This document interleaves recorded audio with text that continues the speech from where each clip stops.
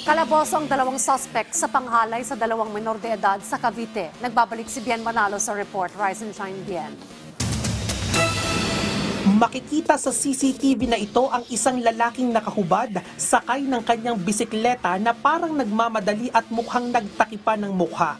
Ang lalaki, napag-alamang isa pala sa mga sospek sa pangahalay sa dalawang minor de edad na magkapatid sa Dasmariñas City, Cavite. Sa ikinasang hot pursuit operation ng Dasmariñas City Police, naaresto sa General Trias ang isa sa mga sospek na nakita sa CCTV.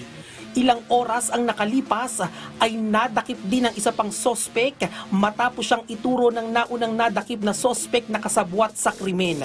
Yesterday, na finally nakita natin siya doon sa General Trias, isang construction work uh, place. So nakita, unang-una naging naispatan kasi yung bike niya na nandoon. Oh, so hinintay na lang natin na lumabas. Then nung nasa baba na, yun na yung ginawa natin. Akala nga namin isa lang yung suspect, eh, may reveal pa siya nakasama.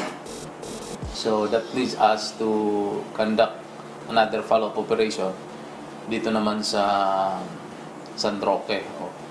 So saan natin nakuha yung pangalawang suspect. Umaga ng August 4, dito mismo sa talahiban na ito, natagpuan ng mga opisyal ng Barangay Burulmain sa Dasmariñas City, Cavite ang dalawang minor de edad na magkapatid na walang awang hinalay ng dalawang sospek. Ayon sa pulisya, halos apat na oras nang nakabilad sa init ng sikat ng araw ang mga nag-aagaw buhay na biktima ng matagpuan. Papunta umano sana ang mga biktima sa palengke para tumulong sa kanilang ina na magbenta ng gulay. Agad namang isinugod sa ospital ang mga biktima at doon napag-alaman na magkapatid pala ang dalawa.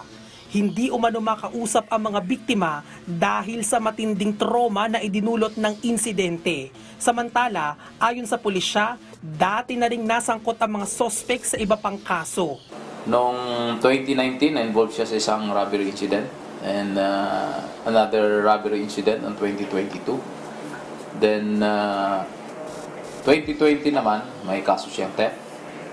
And uh, 2021, mayroon siyang acts of lasciviousness. At nang tanungin ng mga sospek hinggil sa mga aligasyon laban sa kanila, Opo, totoo po yun. Pero aminado naman po na wala po ako kasalanan.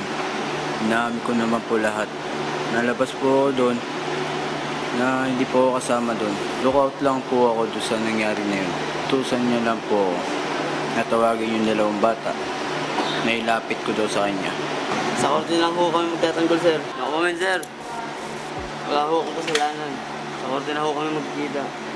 may paalala naman ang pulisya sa mga magulang sa tamang paggabay sa kanilang mga anak. Huwag na sana natin pabayaan kung alam naman natin na vulnerable yung ating uh, member of the family.